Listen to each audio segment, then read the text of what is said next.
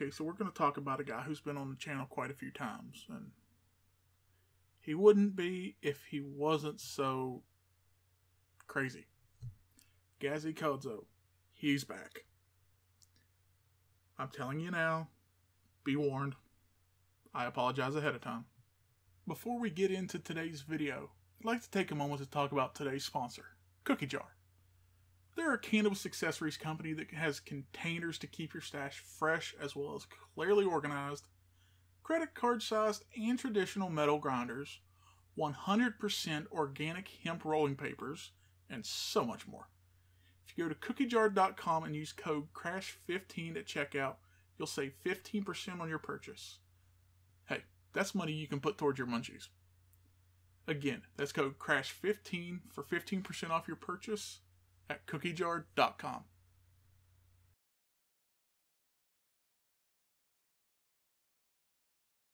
You're a black person in a net white neighborhood, and you're acting like one. What if you're like a white person in a white neighborhood? That's right. Excuse me. I'm coming through.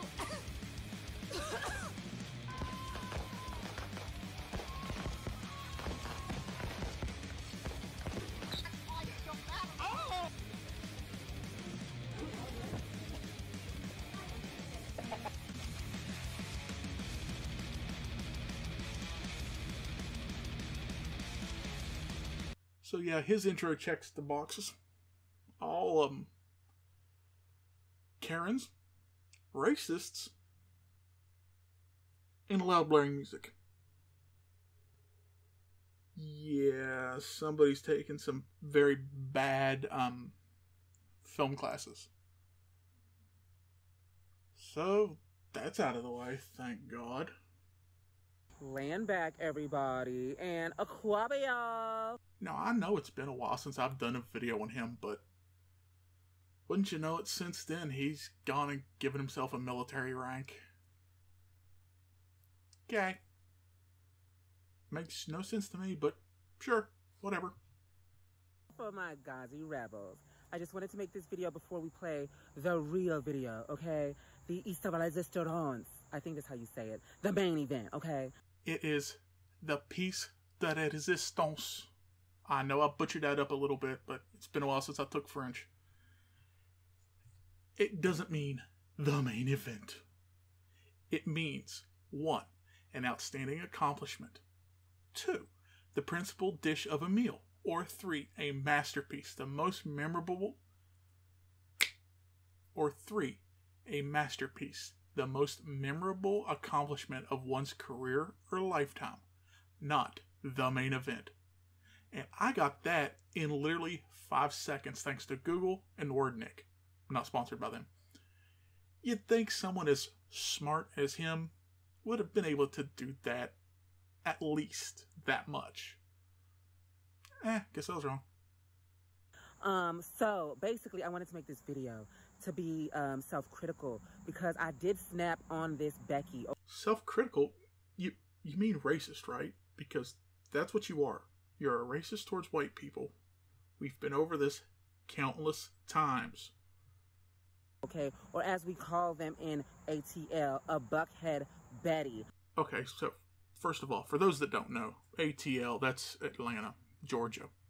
That's where he's at. But now to the serious question. Do you call all bitchy white women Buckhead Betties, or is that what you call all white women? I mean, let's be honest, you've used racist terms for white women in the past, as evidenced by videos on my channel. So, legitimate question. But what I needed to do more in this video was to really deepen the political aspects of what was going on here, okay? Because what I needed to let this colonized parasite heifer know was that this train that she was riding on, thinking that she could tell us what the rules were, even though she only rides it when she wants to take a flight out, because that's what Buckhead Betties do, on the MARTA train. The MARTA train, which breaks down consistently. Wait, you're saying the MARTA train's always breaking down? Hmm. Damn, I didn't realize my cousin was the mechanic. I mean, that would explain why he's always got money to get himself into trouble. The MARTA train, which is late. The MARTA bus that be late. The MARTA buses that be breaking down, right? That this Buckhead Betty, that everything that she has in Buckhead and all the wealth that she and her husband accumulate is from the poor working colonized class people having to Ah, here we are again with all the all white people are colonizers BS. So please explain to us when any white person that is alive today did any colonizing. I know I haven't. Hell, the closest I've come to leaving the country is when I went to Cleveland back in 08 or to Miami as a baby. So you continue to use these blanket insults without realizing that none of us have done any of that. Don't get me wrong, as a race, yes, we did. But individually, no. And it's not only factually inaccurate to call someone that, it just shows you trying to hide your racism and not doing a good job of it. Ride this MARTA train station every goddamn day to work and being late because the train is late and being late because the bus is late and getting written up and fired. These dirty trains that never get clean because all the resources that should be going to this public transit to assist my people in their day-to-day situation actually goes to her Birkin bag while she wants to sit and stop us as poor working class colonized people of Black Hammer going on the trains to give our people free resources Funds to help, and I quote, our people. Now, do you mean all residents of Atlanta? All working class residents? Or just the black residents? Because last time I looked, the working class was, wasn't made up solely of black individuals. So, you need to be a little more specific. Just saying. Try to be helpful for once. Because we see what's going on in the crisis of imperialism, the crumbling of white power, capitalism, colonialism, America, ka, ka, ah, okay? And we Okay, so you're talking about crumbling of imperialism and an empire? Let me check my notes because the last time I checked, America hasn't been part of an empire in the last 140 plus years, you know, with the Declaration of Independence, Revolution, all that, so. Yeah. see that our people are being burdened by this disease, so we give the people free KN95 masks. We see our people starving because they are cutting food stamps, because they are cutting unemployment, and we give our people free resources. Okay, this is the part that chat me the wrong way. I'll explain in a minute. Now, by the term our people, do you mean all American people or just black people?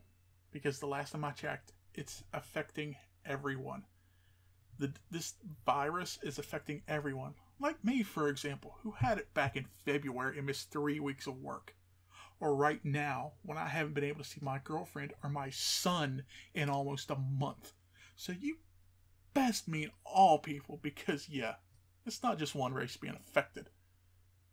But most of all, we give our people political education and a future with revolution and no but. Your political education, as you call it, it's nothing better than Republican propaganda. That's all it is, is propaganda, plain and simple. Buckhead Betty, and no white power and no sellouts are ever going to stop us from doing that. Now, we all know what he means by sellouts. Any black individual that's capable of free thought and doesn't agree with him.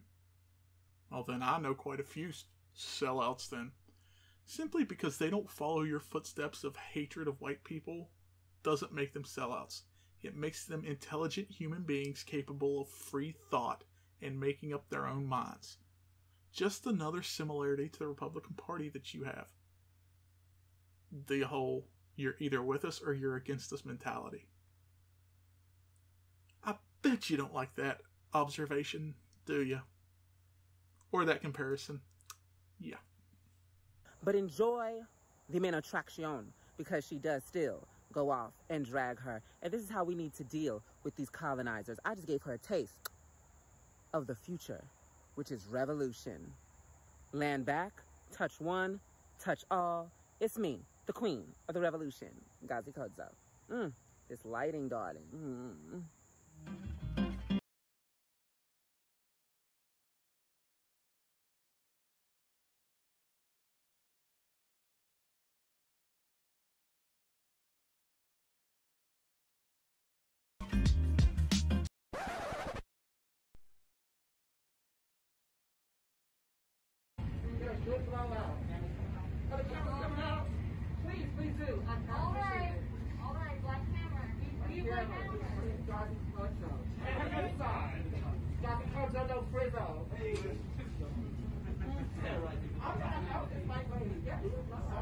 Okay, so the caption on the screen said she was reporting them for soliciting.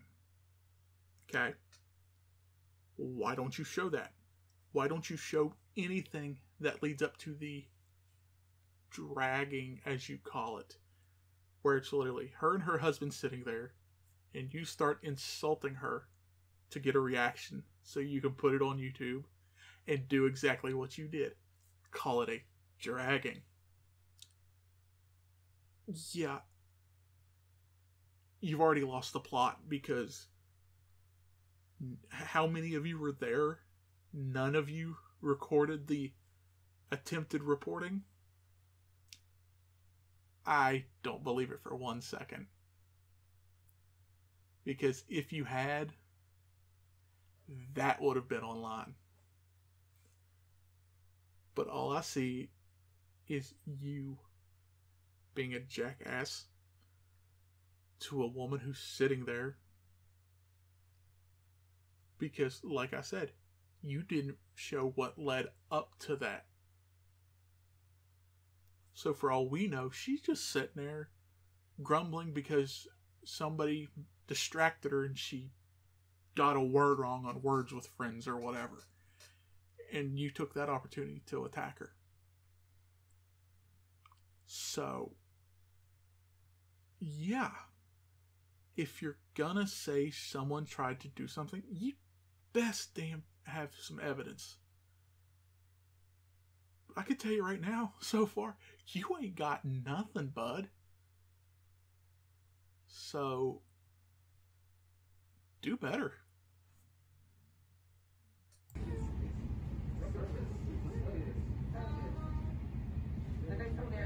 Shorts and you going on a dirty plane that's 85 dirty people and they tails on the seat. Oh, your ass going with booty shorts. So that's that scared of all them dead, uh, dead cells, dead skin cells. Rub your legs on the dead White people is so nasty. Ah! Thank you.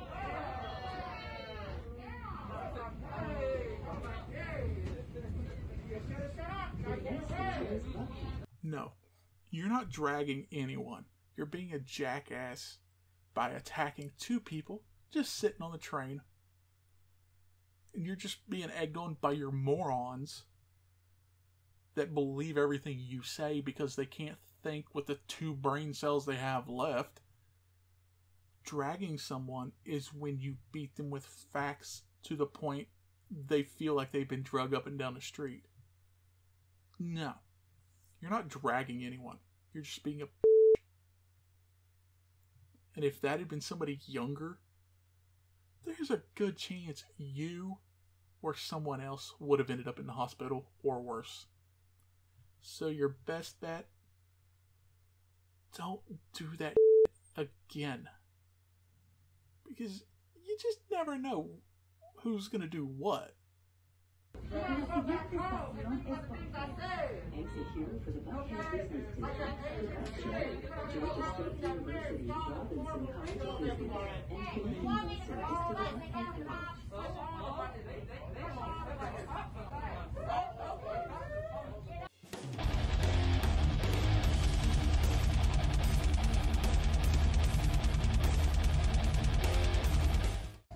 So she asks if you want her to push the button to call the cops, which you in turn tell her to push all the buttons and then proceed with your minions, your brain damaged, mentally defective, well, two digit, maybe if they're lucky, IQ having minions, proceed to block her from doing just that and set it to metal music to try and make her look like the aggressor.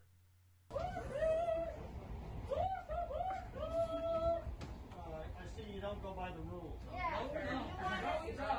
Okay. I'll admit that one is kind of funny. The Jim Crow John. Yeah, that's kind of funny. I mean, based on his hair, he may have actually been around during the Jim Crow era. No, we do not. Never have, never will. That's exactly right. and It's not gonna get you there. Only get us all the way home. All the way home. Stand up. Stand back. Stand back. Fix your- fix your hair. Fix your hair. Okay, I got a few things I want to say about this right here. Okay, one, I'm going to be honest. Like I said earlier, if that had been someone younger, that probably would have gone differently. And you probably would have been making an unexpected trip to the hospital, which, let's be honest, you may have been treated by a white doctor, which you, obviously you wouldn't have liked, but yeah, you do what you got. But also, the phrase land back. The heck are you talking about?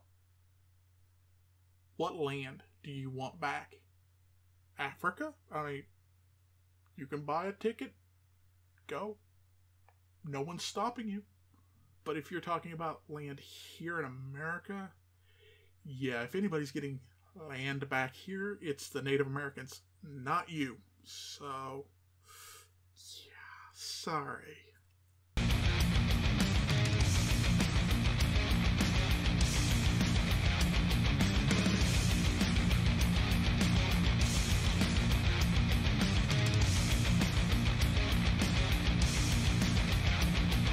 What do you mean, right side of history and pay reparations? I've said it before and I'll say it again. Why? Why would I pay you for anything? Anyone that pays reparations to you is an idiot. No one alive today has owned slaves. Therefore, they have no reason to pay them. And you've never been a slave. Therefore, you have no reason to be paid. You have never had someone own you legally. Therefore, you have no reason to be paid reparations. Let's be honest. It's one of your ways to make money without having to get an actual job and be a contributing member to society because more often than not, your boss would be white and you have a problem with that. So, no. And I love how the video ends begging for reparations, and it's not even an official charity or fund. It's to his own organization. Because as we all know, reputable 5013C organizations use Cash App and Venmo. And I've said it before and I will say it again. If you switched the races and he was a white man saying all this type stuff, he would be deplatformed in a heartbeat for being a racist piece of garbage. So why does he get a stay and say all this crap? Oh, that's right, because of his skin color. Yeah. His privilege. He's allowed to say whatever the hell he wants about white people. Yeah, I forgot about that.